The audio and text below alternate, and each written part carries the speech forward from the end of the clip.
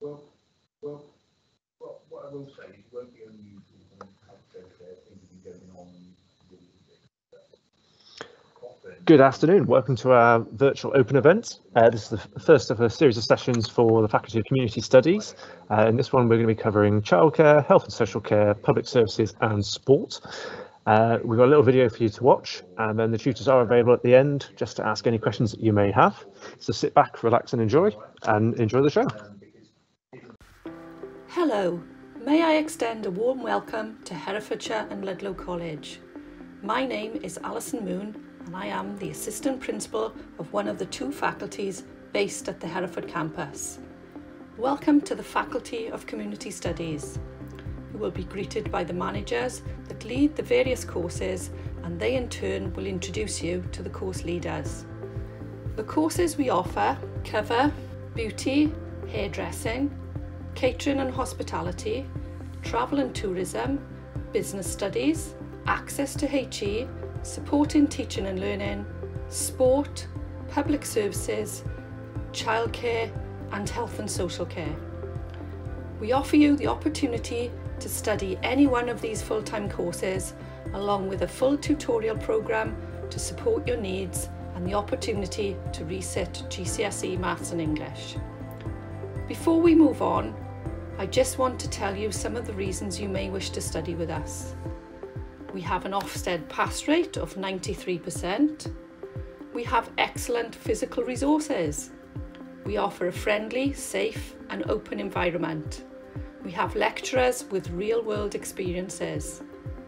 Added to that, we have students who have said that we are 93% making good progress. They also say 94% of them enjoy their lessons 97% say their teachers encourage them to work hard and behave well. 95% say they receive good support from their teachers. 97% say they know how they are expected to behave. And 92% say, would, say they would recommend the college to a friend. So collect your questions and sit back as we welcome you to see what we have on offer in our dynamic faculty Hi and welcome to our virtual open event. My area is one that includes health and social care, childcare, sport and public services and all these areas have both level 2 and level 3 uh, that we can offer for you. Level 2 are for those that haven't quite got um, 5 GCSEs at grade um, 4 and above and also maybe those for those who are struggling with maths and English and may like to retake it or we can support you to retake it to enhance your career opportunities for the future. What we want to be able to offer to you in all of these subjects is a fabulous learning environment, one where you will meet other people who are like-minded, so have chosen the same course as you have, and that may like to um, support each other through the years or the one year or two years that you will be at the college. Our aim is to provide you with the best possible experience. Um, at college you don't call us Mr or Mrs or anything like that, you call us by our first names. We treat you at this college as adults and then obviously we, we expect you to behave like adults and actually you do. We have a wonderful um, learning environment that we can offer you. It's our courses are generally lots of fun, people like to come, they make really long lasting friendships and they have an amazing time at the college. So if you're interested in any of these subjects, we have also um, the subject leaders that can give you a brief introduction to what the courses are about in more detail. But they can also be online for you to be able to ask any questions and for them to answer any questions throughout the day. We are all here at college, we are still open and we are available to answer any queries that you may have in order to help you make a, a, a decision about your future. Our aim at the end of all of your education is to allow you to progress either into employment or into further education or into university if that's where you choose to, to go. And an enormous number of our students suggest that that's exactly what we do. We help you to find a way after you've finished your education. So I hope you enjoy our virtual open event. It's been a first for us and I hope it's been a first for you and that can, it can help you to make your decisions. Take care, bye. Hello, my name is Nicola Jones and I'm the lead tutor for Level 3 Health and Social Care year at Hereford College. Um, I'm here today to tell you a little bit about the course. We currently run the two-year National Extended Diploma in Health and Social Care.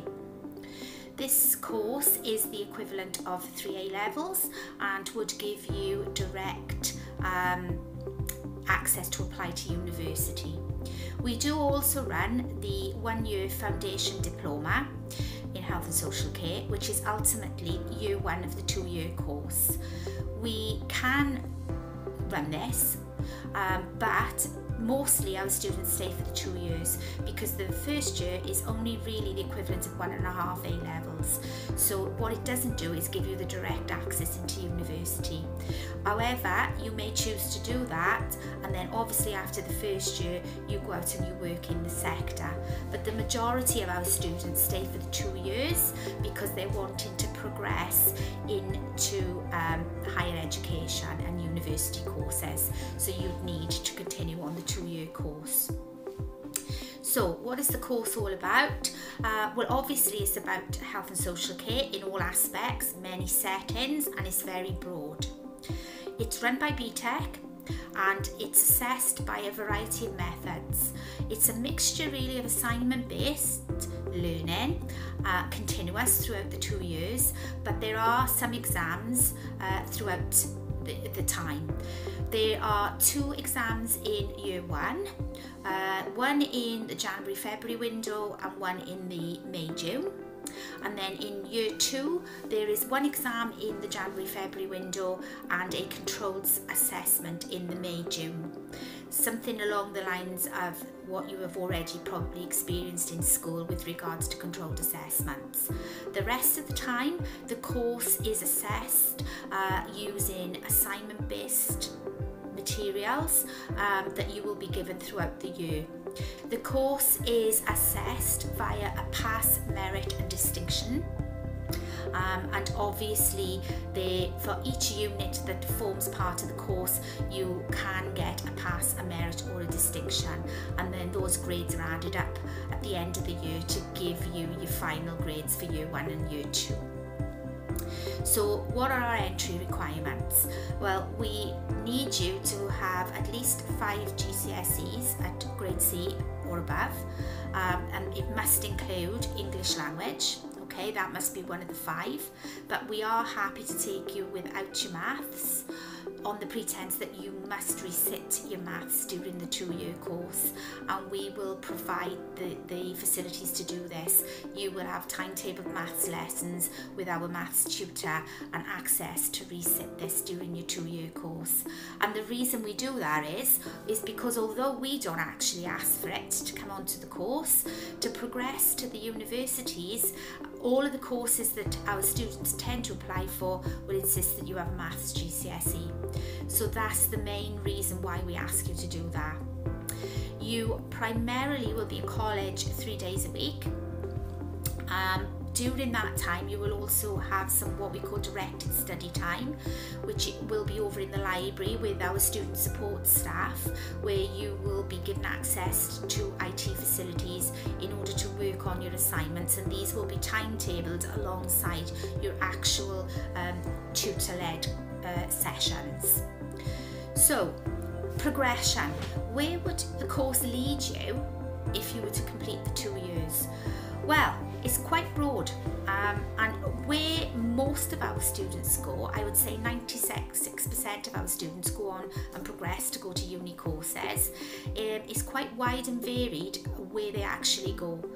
Uh, mostly they go to adult nursing, mental health nursing, midwifery, child nursing, social work, paramedic science, three-year health and social care degrees, um, the primary school teaching, um, even we've had police and criminology. So as you can see, it's quite broad and um, obviously uh, um, widely accepted by all universities uh, with regards to those professions.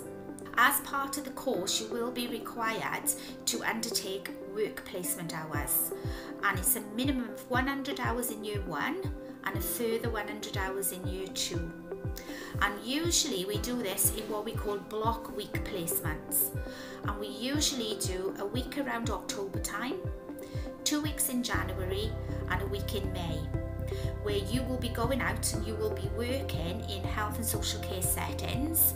And then you will be coming back and applying what you have learnt in um, written assignments. But it is a compulsory part of the course and people cannot pass the course without um, completing the amount of work placement hours. So it's a very very important part of it.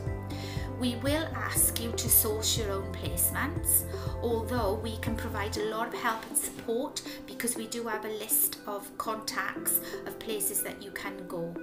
So that may be something that you may want to think about over the summer. If you're coming in straight from school to us, it's likely that you're probably only 16 and this does cause um, some issues in the initial placement in October because most places like you to be 17 in health and social care to go to it but for the first placement you will be allowed to do 20 hours to 30 hours uh, uh, placement in a school or a nursery to overcome that. So when we get to later in the course then you'll move on to a different setting because we like you to experience different settings throughout the course. Now obviously to send you out there to work with vulnerable service users we need you to complete something called um, a DBS check, a police check really because we are sending you out there to work with these people, supervised, but still to work with these vulnerable people. So we would need to do that uh, prior to enrolment. So we usually send for you to come in with all your documentation and we do this at the college. There is a cost of £47 um, but that will come out to you explained in a letter but the DBS that you will receive then yeah will come back to you it will be yours and it will last for the whole two years of your college okay so when you do that DBS you just do it once for the whole two years if you haven't applied please do so um, um, and I would be looking forward to seeing you all in September. If you have any questions at all, please don't hesitate to get in touch um, and then hopefully I can talk you through any worries or concerns. But hopefully I'll get to see you all in September. Thank you. Hi, my name's Jo Yearley and I'm part of the childcare department. I'm here to give you some information on the childcare courses that we run at the college. Both of our level 2 and our level 3 programmes are full-time and they are a mixture of coming into college and gaining practical experience in settings. For the level 2 programme you need 250 hours and for our level 3 programme you need 365 hours in a suitable childcare setting. Another way that we support your learning is by arranging opportunities for you to participate in interactive workshops these have included magical maths, stories in motion, sublime science. We also have visited a forest school setting to enable you to discover how children learn in the outdoor environment. So entry requirements for our level 2 programme are 4 GCSEs, grade 3 and above, preferably one of these being in English language. Your timetable includes you being able to retake your English and Maths should you need to. The 14 units that you would complete are based on a pass or refer basis. These are marked by your college tutors and they include child development, equality and diversity, play and care routines. When you have successfully achieved this course, you can go into employment as an assistant practitioner or to be considered onto our level 3 programme. The entry requirements for our level 3 of five GCSEs, grade 4 and above. One of these must be in English language. You can retake your maths alongside your course if you need to. There are seven units as part of the level three, of which are marked by the college tutors, and they are graded D to A star, and they include play and learning, observation, child health. There is one external assessment aspect of the course, which is set and marked by the awarding body CACHE. After you've successfully completed your year one, you progress on to year two to complete a further six units and another controlled assessment.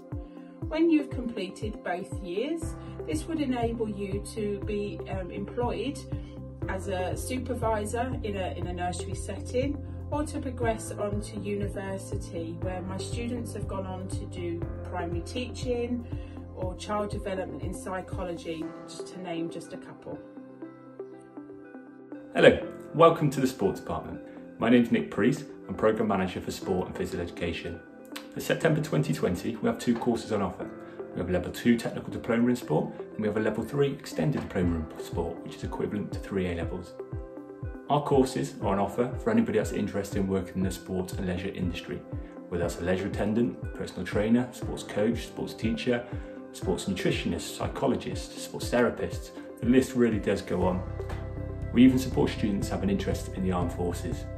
We're here to give you guidance and support and provide the experience to ensure all of our students are successful in any area of interest. Throughout this short video, I'm going to introduce you to members of the sports team explain about the courses in more detail and a little bit about college life. First up, Hayley Jenkins, she'll explain our entry requirements.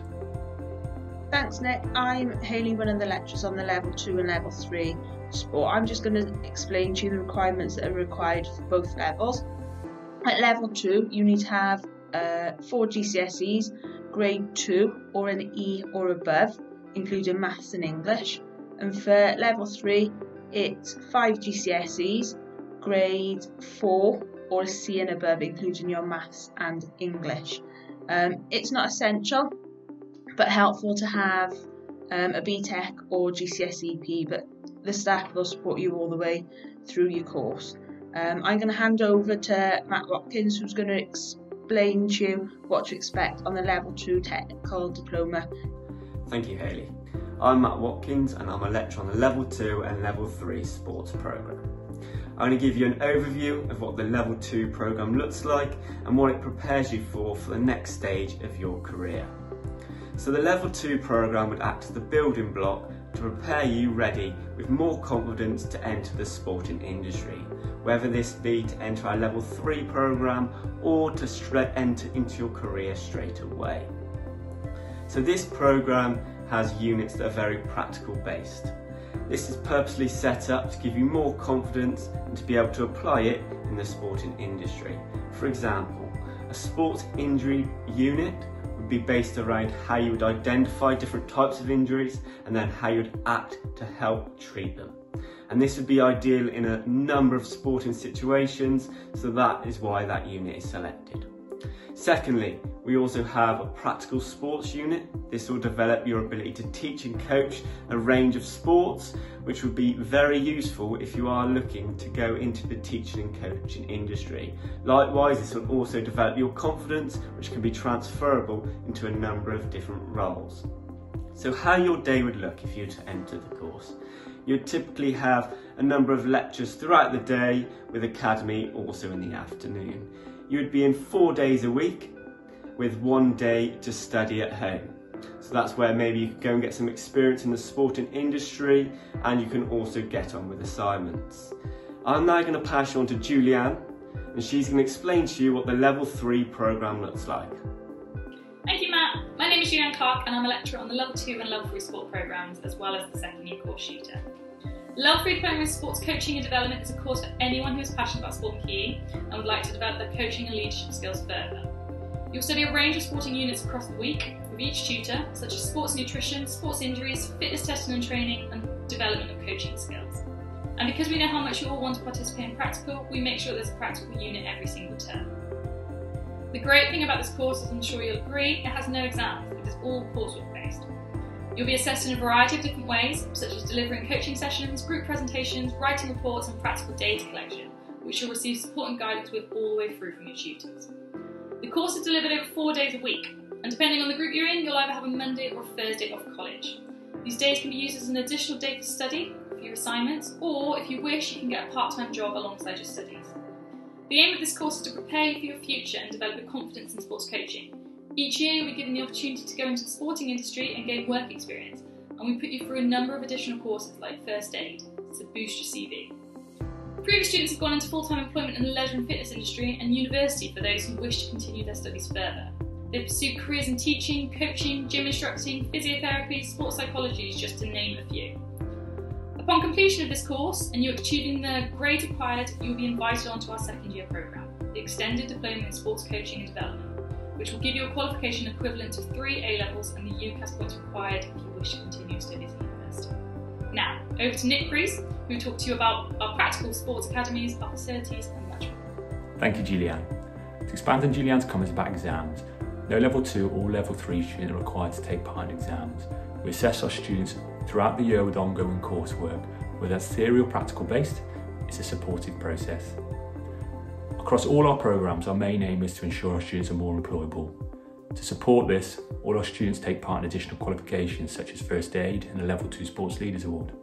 We also ensure our students take part in a minimum of 30 hours of work placement per year across each year.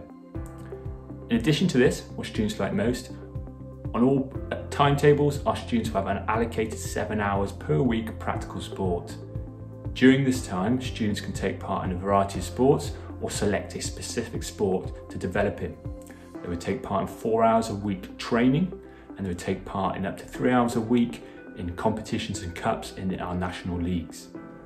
In addition to this, we also provide all students with a 0.4 gym membership, full access, that's spa, facilities, exercise classes, and that's throughout the year.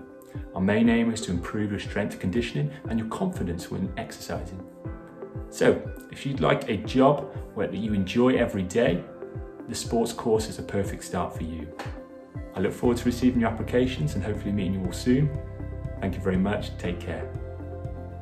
Hi there, Craig Smith here from the Herefordshire and Ludlow College.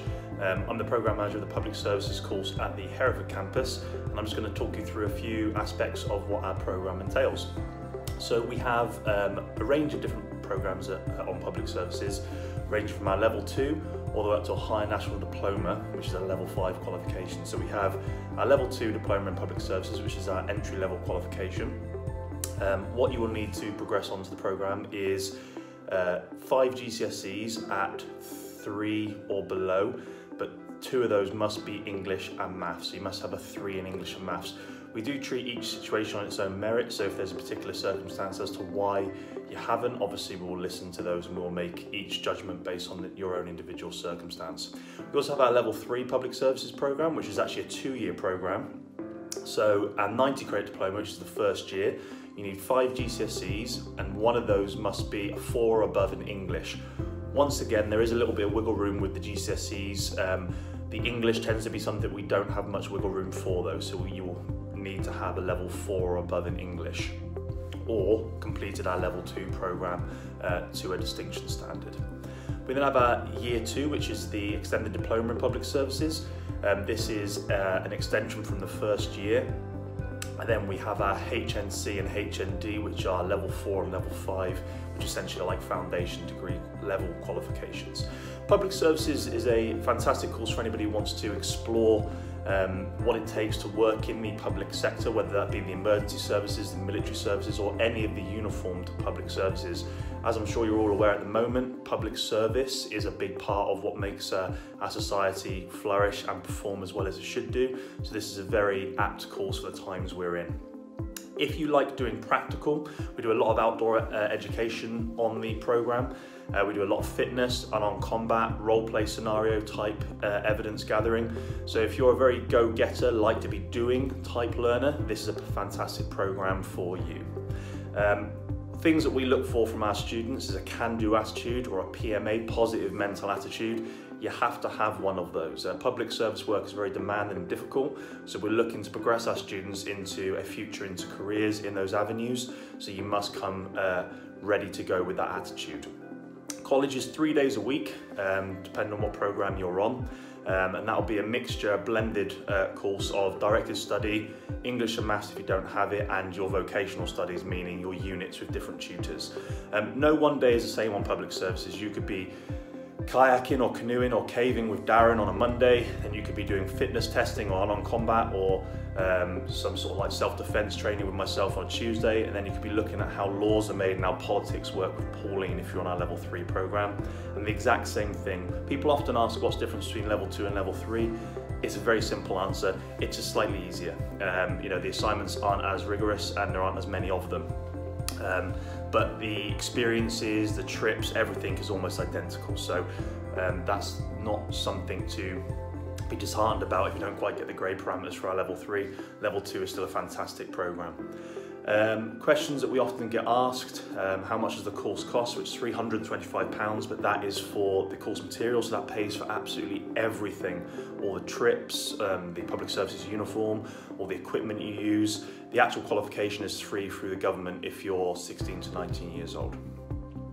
Um, I think that's pretty much it, guys. Um, if you have any questions, queries, or concerns, uh, you can email myself. I'm the Programme Manager of Public Services for the Hereford campus on smithcraig at hlcollege.ac.uk. That's smithcraig at hlcollege.ac.uk, and I will happily give you a phone call and we can discuss the matter further.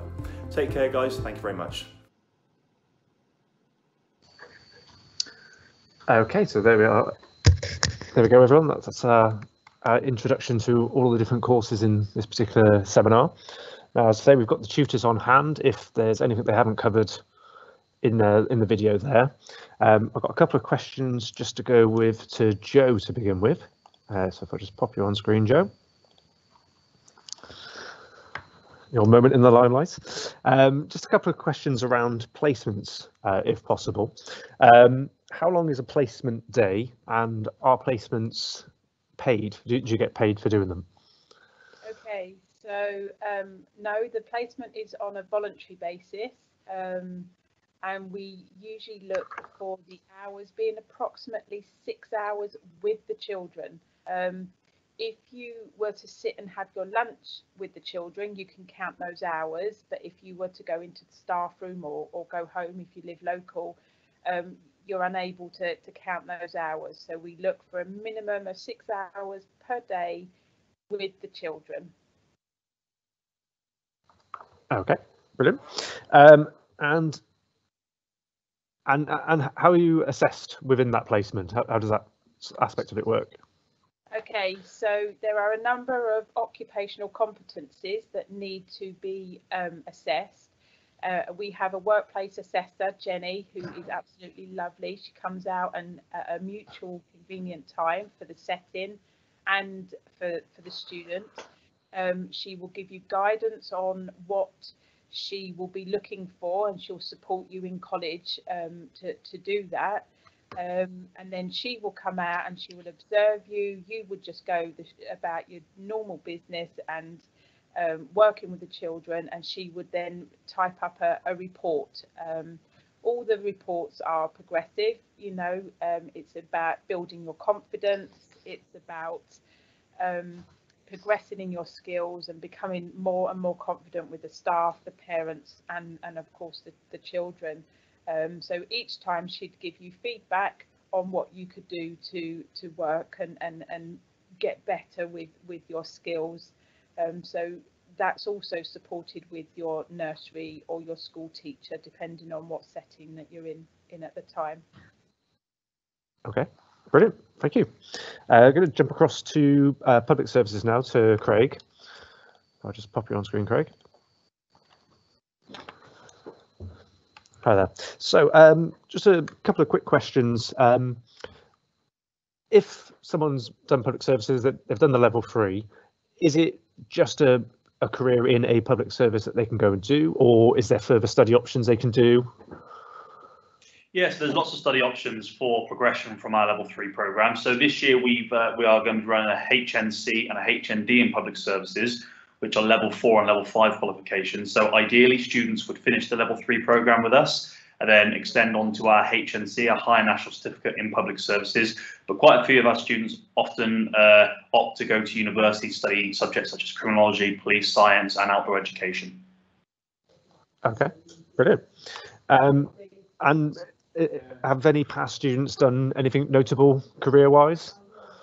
Yes, we've got lots, lots of ex-students who are now working in the public services. Quite a few students in Hereford are in the Hereford Police. We have lots of students who are in the armed forces. Um, I can't say too much about it, Dave. We also have students in special forces, and I'll leave that there. Okay, yeah, that's fair enough. Okay, thanks, Craig. Um, Nick, if we jump across to you for sport, similar sort of question, really. Um, sort of uh, in terms of sort of further study after the level three, what are the the options available? Um, it, it's really down to the students. Um, they can go off to university. Lots of our students go off to universities now and follow careers in, in teaching, in, in professional coaching, nutrition, and so on. Um, but you you don't necessarily have to go to university. You can go straight into the industry with the experience gained in the programs. Um, looking at leisure attendants, personal trainers, um, and teaching assistants. Um, and, and, and students have gone on to do that, and, and we've had a number of students who now are, are teachers um, and are professionals working in, in Herefordshire and beyond, really. Okay, brilliant. Um, and the uh, the sports academies, um, Yes. what sort of sports are there that, that can be done? Is it sort of set sports, or is it a case of if there's enough demand, there could be Yeah, someone else? A or- bit of both, really. We try and offer what we can. Uh, really depends on the uptake of students, but at the moment we've got a football academy and a netball academy um, because that's the, the, the biggest demand. Uh, we have in the past run academies for, for basketball and rugby. It just really um, depends on the uptake. Um, so if the students don't have an interest in, in football and netball or, or have done that a lot at school and want to try something new, we also offer a uh, fitness academy um, where they learn about the fitness industry and learn how to, to instruct others and how to safely and effectively work and exercise themselves. Okay, brilliant. Thank you. Um, Susie, if I can come across to yourself now, uh, just to talk about health and social care. Um, so just a couple of quick questions. Um, don't forget to unmute yourself. Um, in terms of uh, sort of results day, if a student hasn't got the grade to go into the level three, what are their options come that time? Uh, if they haven't got the grades, then we offer a Yeah. level two in health and social care as well. And so on that level two course, then we can support them to retake either maths or English, which is the most likely um, subject that they haven't su- been successful in. Um, then it's a year on our level two programme and then they can progress on to level three, uh, health and social care. Equally, if they wanted to do a level two childcare um, course for a year, they can still progress on to level three health and social care if that's what they chose to do. Okay, so you can move sideways between the. You can move sideways. I mean, people change their minds on on courses all the time, and so we always have something that we can offer them, even though they they have a slightly different um, choice from maybe the one that they started with at the beginning. Okay, brilliant. Um, and then the sort of qualification once they're finished, level three, is it just university they can do, or can they go straight into industry? No, they, they can go into industry, but actually because we have um, higher education within the college, um, sometimes they choose to stay within the local area and so they progress onto our foundation degrees in health and social care or mental health or um, counselling or childcare. So we have a number of options available for them. We also have uh, newly on board the HNC in public services. So all of these options are available to anyone that completes a level three in health and social care. Um, they can also go into working in industry with a level three. It, it kind of shows that you're professionally competent and so they can progress, yeah, really Yeah. well. Okay, brilliant. Um, I think that's all of the questions uh, we've been sent in advance. Um, so assuming there's no further questions, we'll wrap that session up there. Um, if anyone's got any further questions, uh, they're more than welcome to contact us via the contact form on the website or um, via the social media channels, and we can happily direct any queries to the, the relevant tutors for the relevant courses. Um, if you need any more information, please just ask. Thank you very much.